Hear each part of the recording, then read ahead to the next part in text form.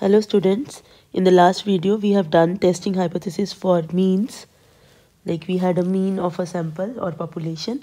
Here we will be doing testing hypothesis for difference of means. So basically you will be having two samples. So what is the situation? You have two independent random variable random samples of size n1 and n2 and they are drawn from two populations and the two populations are having mean mu1 mu2 and variances sigma 1 square and sigma 2 square respectively.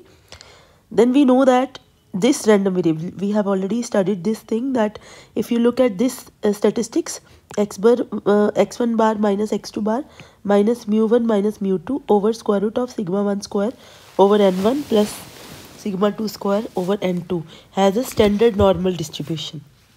So this this result we already have and here uh, we assume that n1 and n2 are sufficiently large so that we can apply the central limit theorem.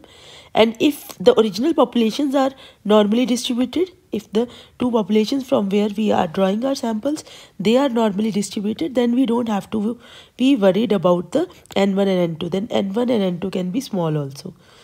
Okay now in this case in this case if sigma 1 is equal to sigma 2 is equal to sigma then this Uh, statistics can be simplified here as follows. You write sigma 1 square as sigma square and sigma 2 square as sigma square. So sigma will come out of the square root sign. So you you will get this thing right?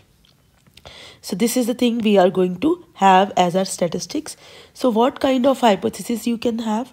So basically you can have that okay the hypothesis is that the mean of them the two samples uh, two populations the mean difference is d naught. So this is your hypothesis. This is our null hypothesis. And we can assume our uh, alternative hypothesis as that this is not equal to d naught okay? Then if if this is the case we already saw that there will be two tail test so this is our critical region if you are following the classical method. And this is also the critical region. And here this is the acceptance region okay and if you if the value falls in the critical region then you will say that we reject h naught otherwise we accept h naught similarly we can have one-sided test also one-sided tail test. So uh, where if you have a situation like mu1 minus mu2 is equal to d naught or mu1 minus mu2 is greater than d naught then you have one tail like you have here.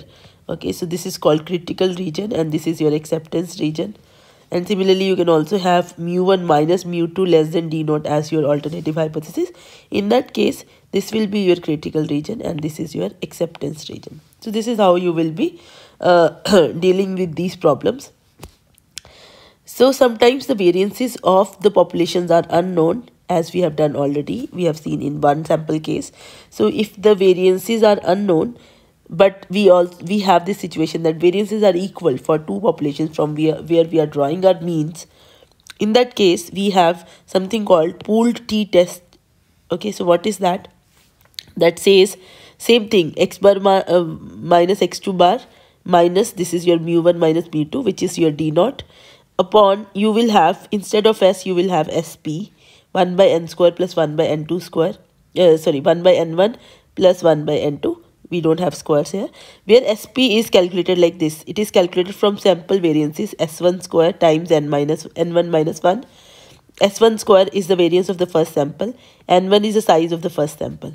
So what you are doing you are multiplying the variance of the first sample with n1 minus 1 similarly you are multiplying the variance of the second sample with n2 minus 1 and in the denominator you have n1 plus n2 minus 2 so we have a result which says that this particular statistics here has t distribution, okay, and okay, uh, so t distribution with degrees of freedom is equal to n1 plus n2 minus 2, right? So, so for this we will have two tail test. So we will look at t value, t alpha by 2 if if the value so basically you have this situation minus t alpha by 2 t alpha by 2 so this is your acceptance region this is sorry critical region. This is your critical region this is critical. And this is acceptance. Okay? So if the value lies here or here you reject h naught. Otherwise you accept h naught. Okay? So similarly you can go for one-sided test. So here we have a question. So an experiment uh, was performed to compare the abrasive wear of two different laminated materials. So you have two different uh, laminated material. So you want to see their nature, like how strong they are. So 12 pieces of material 1 were tested by exposing each piece to a machine measuring wear. For, so, so this 10 here is your N1. And then 10 pieces of material 2 were uh, tested. So this is your N2 for sample 1, we get mu1 is equal to 81 and S1 is equal to 4. Okay, and for sample 2, we get mu2 is equal to 81 and S2 is equal to 5. Right? Actually, this is uh, not mu1, mu2, they are x1, x2, right?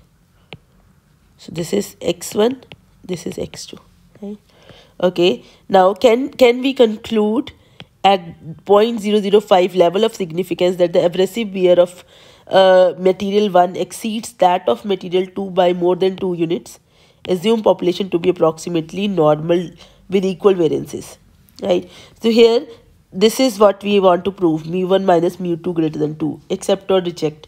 So if I assume it to be my alternative hypothesis this is my uh, null hypothesis alpha is 0.05 which is your significance level okay so critical region will be because we have one sided test here so critical region will be uh, t alpha alpha is 0.05 and if you look from the graph it is 1.725 so this is your critical region right so you are going to find out the value of t. T was x1 bar minus x2 bar minus d naught divided by sp into square root of 1 by n1 plus n1 by n2 with degrees of freedom.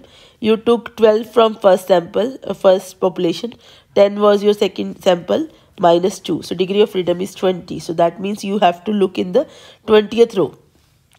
Okay here also we we saw a 20th row okay in t table fine. So and what is sp sp will be uh we we had this formula. S uh, sp square is s1 square into n1 minus 1 so that is 11 and 16 this is 11 this is 16 similarly this is 9 and 2 minus 1 this is s2 square and upon n1 plus n2 minus 2 so this is 4.476 so if you compute these statistics this is 1.04 now you see this was our uh, acceptance region right? So here 1.04 less than the critical value. So do not reject h naught so our decision is do not reject h naught you can also apply p test here p value test. For that you have to this is your statistics. So you want to see how far you are away from your actual mean 1.04 so you look at this probability what is the probability that you can be this far so that is probability of t greater than 0 uh, 1.04 it comes out to be 0.16 which is less than your significance level therefore we do not reject h naught so do not reject H naught means this was your H naught. It means that the difference between the mean is 2. It is not greater, greater than 2. Right. So what is our conclusion? So hence we conclude that hence we are unable to conclude that the abrasive wear of the material 1 exceeds that of material 2 by 2 units. So this is how we will be doing these problems. Thank you.